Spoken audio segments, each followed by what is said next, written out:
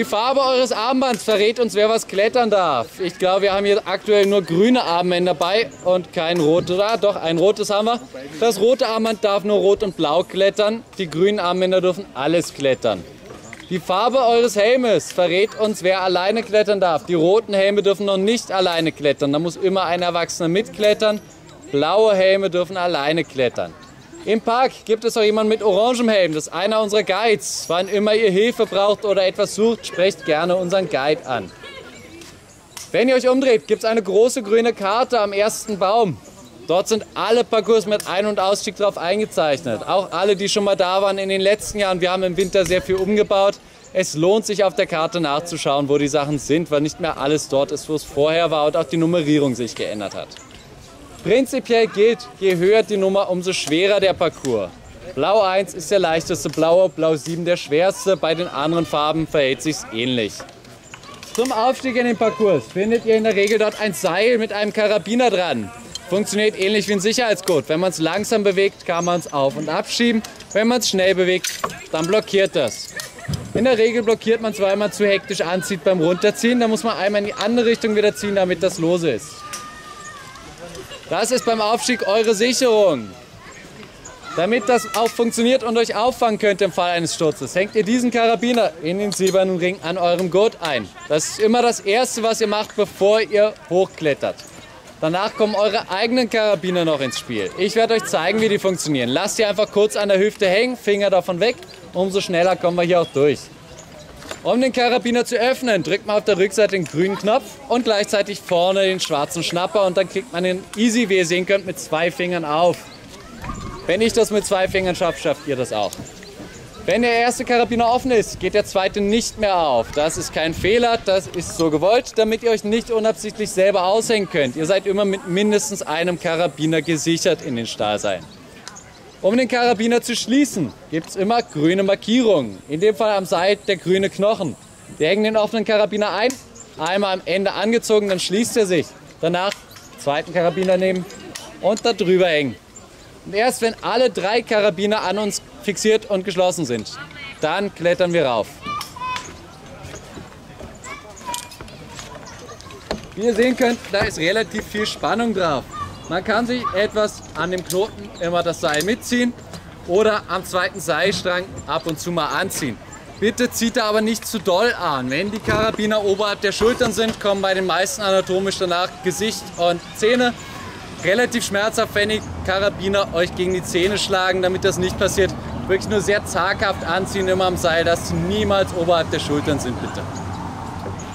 Oben angekommen, öffnen wir die Karabiner in der Reihenfolge von oben nach unten. Das heißt, die ersten sind unsere eigenen Karabiner. Die hängen wir dann da in das Stahlseil, wo die grüne Markierung ist. Und erst wenn beide Karabiner im Stahlseil sind, dann bitte den Karabiner aus dem silbernen Ring herausnehmen. Für die kleineren gibt es den kleinen Leuteklotz, betrifft hier aber glaube ich keinen. Ich glaube, kommt alle auch so an die Stahlseile.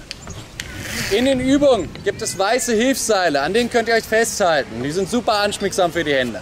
Bitte greift nicht oben in die Stahlseile. Wenn da mal eine Litze lose ist, reißt euch die schönen neuen Handschuhe auf. Das piekst auch durch so ein bisschen Stoff relativ schnell durch. Damit da nichts passiert mit euren Händen, nutzt die weißen Seile bitte.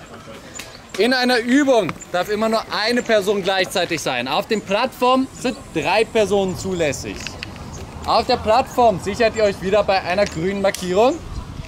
Das ist diesmal eine Schlaufe, die immer um den Baum herum geht. Und erst wenn ihr euch dort in der Schlaufe Eingang habt, dann ist die Übung auch frei für den nächsten. Also das Seil von der Übung bitte immer nur mit einem Karabinerpaar belassen. Am Ende der Parcours kommen wir zu einem Flying Fox, auf gut Deutsch eine Seilrutsche. Selbe Regeln wie auch vorher, nur eine Person pro Flying Fox, sollte klar sein. Wenn also vor euch noch jemand drin hängt, dann hängt euch nicht dazu. Und ihr schaut bitte zusätzlich, dass auf der anderen Seite, auf der Plattform, wo ihr ankommen wollt, auch keiner mehr steht. Wenn alles frei ist, wie bei mir, hängt eure Karabiner ein und dann bitte nicht reinspringen. Wenn ihr springt, dann werdet ihr pendeln und dann schlagt ihr mit euren langen Haxen irgendwo gegen die Bäume. Damit das nicht passiert, hockt ihr euch unter dem Seil so ein bisschen in den Gurt rein, dass da schon mal Spannung drauf ist. Und dann schaut ihr, dass ihr links und rechts an diesen Balken greift. Damit könnt ihr ein bisschen im Flug lenken.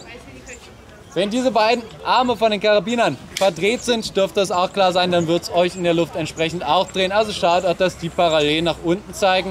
Und dann einfach nur nach vorne lehnen, um loszurutschen. Am Ende der Parcours stehen wir vor demselben Problem wie am Anfang. Wir können nur einen Karabiner öffnen, da wir mehr als einen Parcours gehen wollen.